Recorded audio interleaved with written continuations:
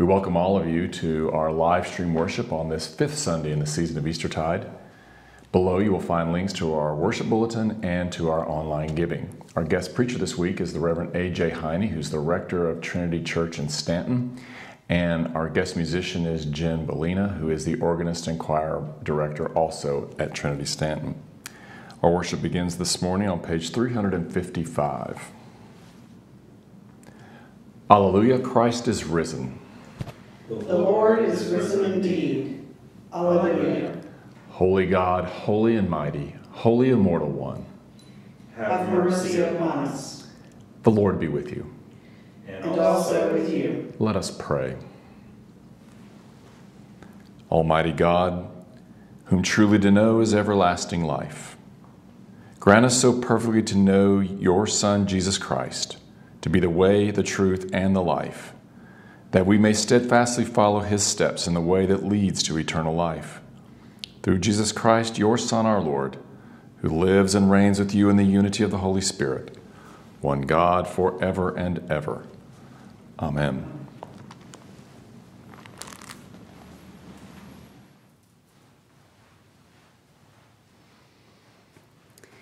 A reading from the Acts of the Apostles. An angel of the Lord said to Philip, Get up and go toward the south to the road that goes down from Jerusalem to Gaza. This is a wilderness road. So he got up and went. Now there was an Ethiopian eunuch, a court official of the Candace, queen of the Ethiopians, in charge of her entire treasury. He had come to Jerusalem to worship and was returning home. Seated in his chariot, he was reading from the prophet Isaiah. Then the Spirit said to Philip, Go over to his chariot and join it. So Philip ran up to it, and he heard him reading the prophet Isaiah. He asked, Do you understand what you are reading? He replied, How can I unless someone guides me? And he invited Philip to get in and sit beside him. Now, the passage of the scripture that he was reading was this Like a sheep, he was led to the slaughter, and like a lamb silent before its shearer. So he does not open his mouth. In his humiliation, justice was denied him. Who can describe his generation? From his life is taken away from the earth. The eunuch asked Philip, About whom, may I ask you, does the prophet say this? About himself or about someone else? Then Philip began to speak and started talking about Scripture, and he proclaimed the good news about Jesus. As they were going along the road, he came to some water, and the eunuch said, Look, here is water. What is to prevent me from being baptized? He commanded the chariot to stop, and both of them, Philip and the eunuch, went down into the water, and Philip baptized him. When they came up out of the water, the Spirit of the Lord snatched Philip away. The eunuch saw him no more and went on his way rejoicing. But Philip found himself at Azotus and was passing through the region. He proclaimed the good news to all the towns until he came to Caesarea. Here ends the reading. Our psalm appointed for today is Psalm 22, verses 24 through 30. My praise is of him in the great assembly. I will perform my vows in the presence of those who worship him. The poor shall eat and be satisfied, and those who seek the Lord shall praise him. May your heart live forever. All the ends of the earth shall remember and turn to the Lord. All the families of the nations shall bow down before him. For kingship belongs to the Lord. He rules over the nations. To him alone, all who sleep in the earth bow down and worship. All who go down to dust fall before him. My soul shall live for him.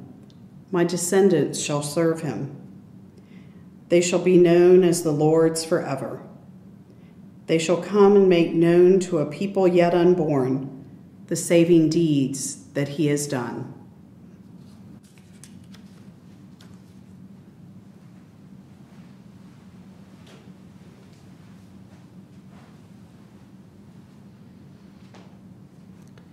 A reading from 1 John. Beloved, let us love one another, because love is from God. Everyone who loves is born of God and knows God. Whoever does not love does not know God, for God is love. God's love was revealed among us in this way God sent his only Son into the world so that we might live through him. In this is love not that we loved God, but that he loved us and sent his Son to be the atoning sacrifice for our sins. Beloved, since God loved us so much, we also ought to love one another. No one has ever seen God. If we love one another, God lives in us, and his love is perfected in us. By this we know that we abide in him and he in us, because he has given us of his Spirit. And we have seen and do testify that the Father has sent his Son as the Savior of the world. God abides in those who confess that Jesus is the Son of God, and they abide in God. So we have known and believed the love that God has for us. God is love, and those who abide in love abide in God, and God abides in them. Love has been perfected among us in this, that we may have boldness on the day of judgment because as he is, so are we in this world. There is no fear in love, but perfect love casts out fear, for fear has to do with punishment. And whoever fears has not reached perfection in love. We love because he first loved us. Those who say, I love God, and hate their brothers or sisters are liars. For those who do not love a brother or sister whom they have seen cannot love God whom they have not seen. The commandment we have from him is this those who love God must love their brothers and sisters also. Here ends the reading.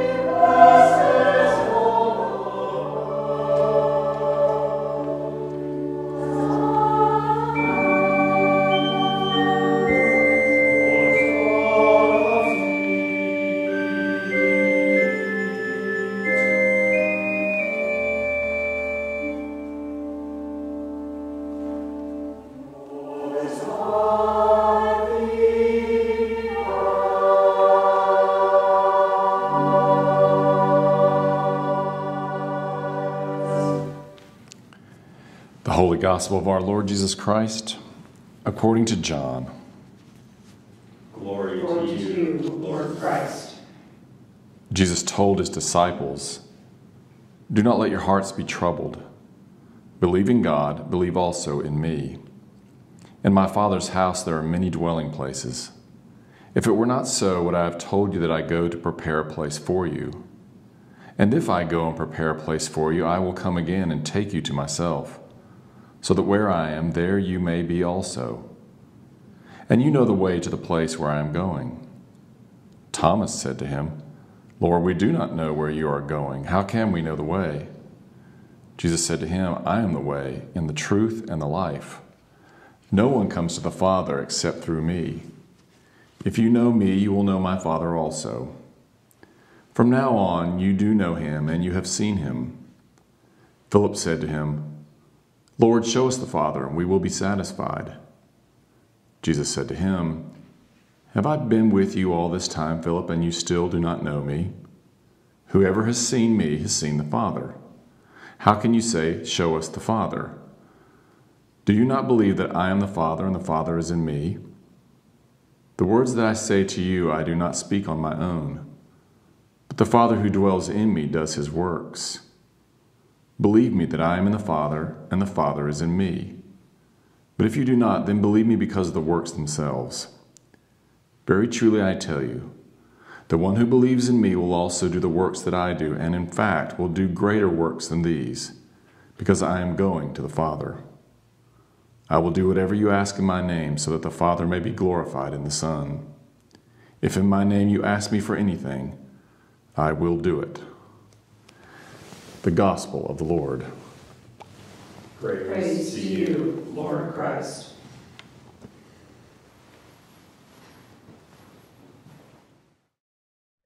Alleluia. Christ is risen.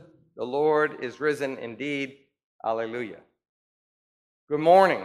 My name is AJ Heine. I am the rector here at Trinity Episcopal Church in Staunton um, more frequently known as the new guy, but I'm glad to be here, glad to be invited um, to, to preach to who I can only imagine are the people and families of the Diocese of Southwest Virginia. It is good to be with you.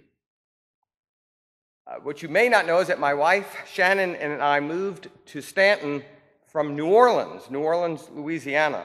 And let me tell you, that place is a jungle. Or more precisely, a swamp. And that's not meant to be political or social commentary so much as climatological truth. Maybe you've seen the photographs of the old shotgun houses covered, enshrouded by creeping vines. Things grow like crazy down there. But getting particular plants to grow in specific places and with desired fruits or flowers requires attention and work. That was certainly our experience when we planted Confederate jasmine on our patio. I had dreams of its branches filling the pergola overhead, creating shade and blocking rain and providing fragrant blossoms. So we bought four plants, one for each post, and we watered and waited but not for very long. They grew quickly, but not exactly where we wanted them. It seemed like I'd leave for work in the morning and came home in the evening to find some rogue branches pushing into the soffit of the house or wrapping around the gutters. You'd take a nap on a Saturday afternoon and wake up to find a couple of wild shoots heading straight for the neighbor's house. It became clear that the jasmine would require constant care and attention and redirecting in order to accomplish the purpose we had in mind. So we committed to the vision and regularly pruned and trimmed. We carefully removed parts of the plant that were headed in the wrong direction, and that redirected the nutrients so that other parts of the vine grew even faster. New shoots were gently woven among other parts of the vine and pieces of the overhead structure. And eventually, the branches became this indistinguishable mass. and the four plants came together to produce a canopy of identical, fragrant blossoms. I'm guessing that Jesus knew something about vines. He prepares the disciples for his departure by giving them this image I am the true vine, and my Father is the vine grower. And again, he says, I am the vine, and you are the branches. Jesus understands that vines require tending to. He accepts the reality that unfruitful branches need to be removed. And similarly, fruitful branches require pruning to maximize their fruit bearing.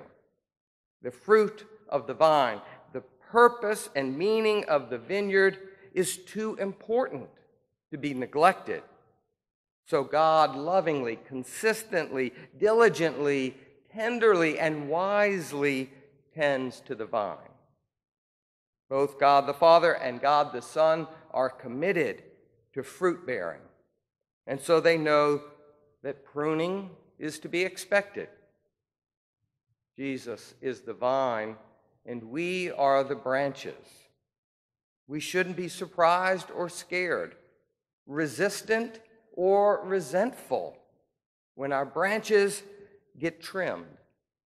Because it's not about our branches, but God's fruit. We can expect and hopefully accept that in our lives and in our congregations, changes will come in order that we can glorify God by bearing much fruit and becoming his disciples. We should all expect some pruning in our lives and in our congregation. Uh, here's an example. There was, uh, there was this rector not just for, the, for purposes of clarification, not me. This is not an autobiographical story. There was an imaginary rector, let's say, who calls together all the members of the altar guild and she says to them, I have some good news and some bad news. The bad news is that you are all here to for dismissed from the altar guild. And then she pauses for effect until someone eventually asks, Well, what's the good news? To which she answers, If any of you would like to be reinstated, all you have to do is make an appointment and come and tell me why the altar guild is meaningful to you. And you'll be immediately reinstated. Some people thanked her, saying, you know, I got on the altar guild when I was 22 years old because my mother asked me to. And I loved that time with her for many years, but I really don't so much anymore. And I think I could use my time and talents in a better way in other areas of the church. Other people from the altar guild thought it over, made an appointment, and said to this new rector, You know, I thought about it, and that quiet time on Saturday mornings feeds my soul. I wish I could do it more often. That ministry is vital to me. There are times where, in order to be fruitful, the things that we have been doing, we have to let go of. I know there's a lot of consternation about the decline in church attendance. We hear the latest Gallup poll that less than half of Americans now claim to be a member of a church mosque, or synagogue, and we feel threatened. We are tempted to go into survival mode, ready to fight to the death with every ounce of our strength, with every resource, habit, or tradition that has sprouted from the vine. We can become so committed to our particular vine, whether that's our congregation or favorite program or ministry, so committed to it that we lose sight of God's larger mission and hope for us and for all of creation. Instead of protecting our vine, we would be better off. God's mission would be better served if we would listen to Jesus' words to his disciples, both then and for all of us in these in between times. Abide in me as I abide in you.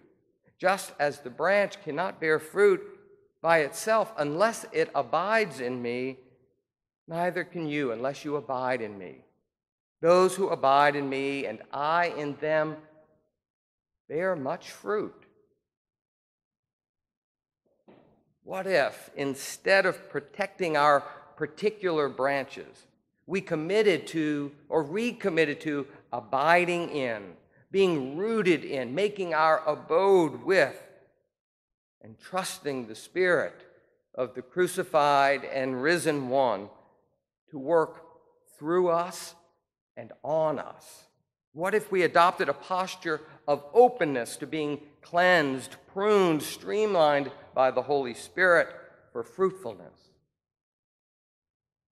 It's happening. I've heard recently of some of the congregations in our diocese who have done exactly that.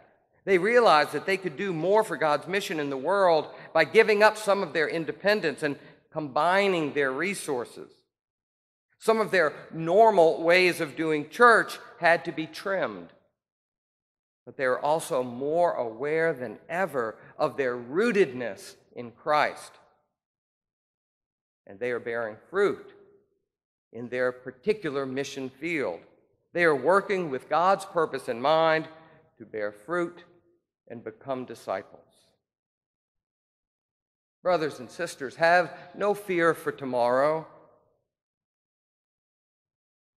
The truth is that God is committed to the fruitfulness of the church.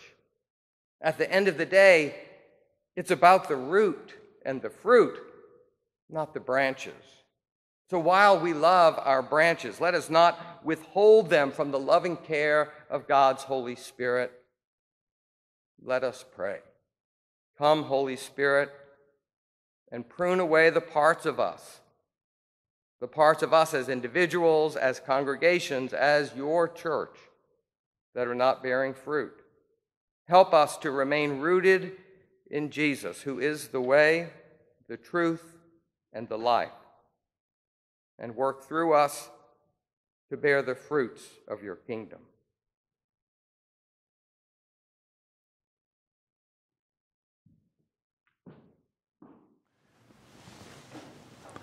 Let us affirm our faith in the words of the Nicene Creed. We believe in one God, the Father, the Almighty, maker of heaven and earth, of all that is seen and unseen. We believe in one Lord Jesus Christ, the only Son of God, eternally begotten of the Father, God from God, light from light, true God from true God, begotten, not made of one being with the Father. Through him all things were made. For us and for our salvation, he came down from heaven. By the power of the Holy Spirit, he became incarnate from the Virgin Mary and was made man. For our sake, he was crucified under Pontius Pilate. He suffered death and was buried. On the third day, he rose again in accordance with the Scriptures, he ascended into heaven and is seated at the right hand of the Father. He will come again in glory to judge the living and the dead, and his kingdom will have no end. We believe in the Holy Spirit, the Lord, the giver of life, who proceeds from the Father. With the Father and the Son, he is worshiped and glorified. He has spoken through the prophets. We believe in one holy Catholic and Apostolic Church. We acknowledge one baptism for the forgiveness of sins. We look for the resurrection of the dead and the life for the world to come. Amen. Let us pray. Heavenly Father, you have promised to hear what we pray in the name of your Son. Therefore, in confidence and trust, we pray for the church. Breathe fresh life into your people. Give us power to reveal Christ in word and action. We pray for the world. Awaken in us a sense of wonder for the earth and all that is in it. Teach us to care creatively for its resources. We pray for the community. Give grace to all those whose lives are linked with ours. May we serve Christ in one another and love as he loves us. We pray for those in need. God of hope, comfort and restore all who suffer in body, mind, or spirit. May they know the power of your healing love. We remember those who have died and those who mourn. We praise you for all your saints who have entered into your eternal joy. May their example inspire and encourage us. Lord, you have called us to serve you. Grant that we may walk in your presence, your love in our hearts, your truth in our minds, your strength in our wills, until at the end of our journey we know the joy of our homecoming and the welcome of your embrace. Through Jesus Christ our Lord. Amen. Amen. And now let us pray in the words our Lord and Savior taught us. Our Father, who art in heaven, hallowed be thy name. Thy kingdom come, thy will be done, on earth as it is in heaven. Give us this day our daily bread, and forgive us our trespasses, as we forgive those who trespass against us. And lead us not into temptation but deliver us from evil. For thine is the kingdom, and the power, and the glory, forever and ever. Amen. The God of peace, who brought again from the dead our Lord Jesus Christ, the great shepherd of the sheep, through the blood of the everlasting covenant, make you perfect in every good work to do his will, working in you that which is well pleasing in his sight and the blessing, mercy, and grace of God Almighty, the Father, the Son, and the Holy Spirit be upon you this day and forever. Amen. Amen. The peace of the Lord be always with you. And also with you.